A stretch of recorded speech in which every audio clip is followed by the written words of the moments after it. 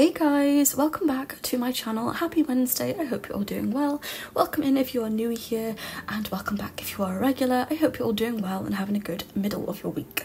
So, for today we are working on another apartment in San Myshuno. This comes with the City Living expansion pack. If you guys are new to Sims, I'm going to start saying that because I feel like I get a lot of questions on that sometimes.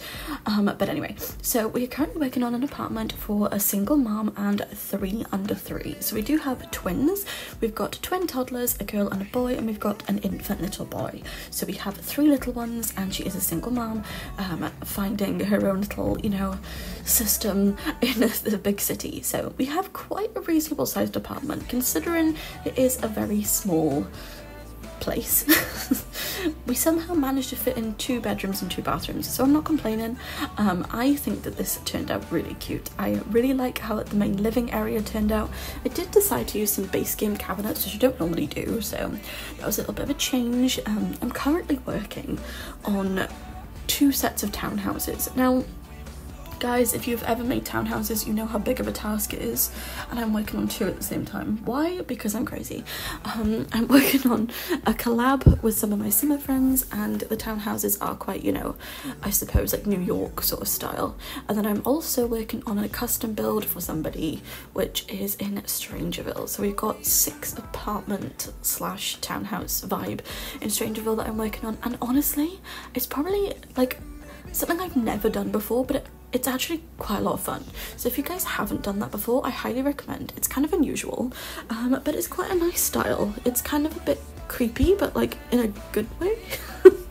if that makes sense. Um, but no, it's really cute, and I will be. Uh, it's not cute. That's completely the wrong word.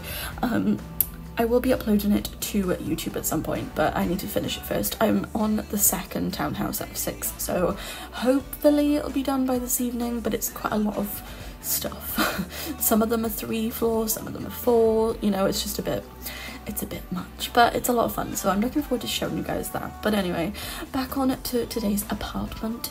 We're currently just adding in some clutter to the kitchen. I didn't want to add too much because like you can see, it's quite a small space and it still needed to be functional. So I did make sure that we did have one counter space, which was free.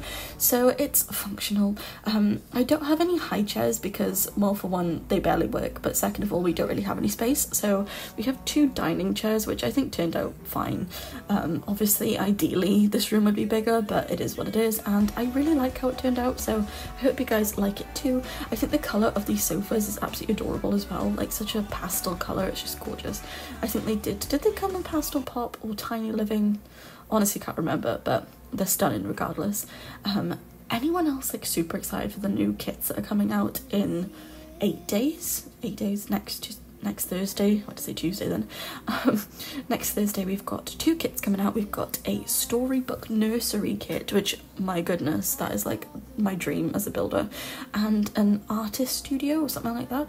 I'm quite happy because I think they're both build kits. Now, don't get me wrong, your girl loves a CAS kit. I'm not a CAS kind of gal.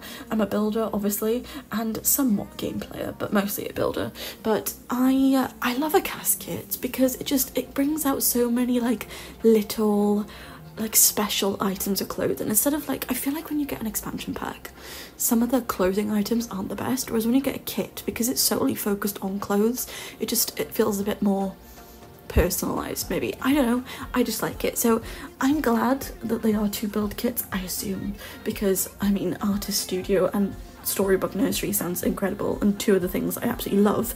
However i also love a CAS kit so you know there's that as well which is kind of annoying but i am super grateful because building is my world as you guys know. Um i honestly don't think i've gone a day without building other than like maybe a day in a very long time. I don't think I've ever gone two days without building, unless I'm at my parents' house, but like, you know, that's because I don't have my PC. But if I've got the PC next to me, I'm always building. Um, side note, my um, social media accounts are finally back finally.